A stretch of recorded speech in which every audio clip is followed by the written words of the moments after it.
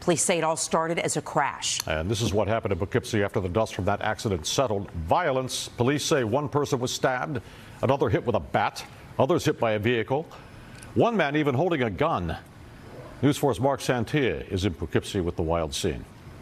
At this point, police have not said what motivated all of the chaos and violence. The video you're about to see is disturbing at times. You are in the middle of a chaotic scene near Pershing Avenue Park in Poughkeepsie. Two crash cars, a guy laying on the ground bleeding. Look down the street. You see a man beating another man with a baseball bat.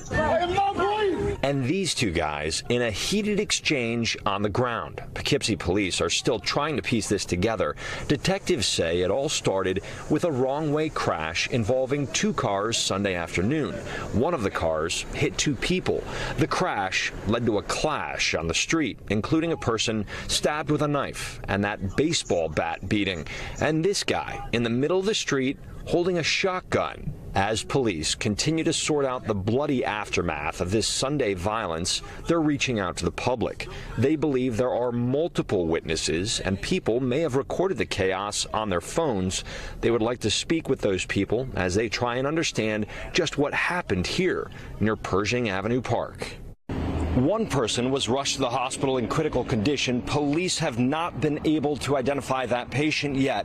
Officers did arrest two people. They're both waiting to face a judge. In Poughkeepsie, I'm Marc Santia, News 4 New York.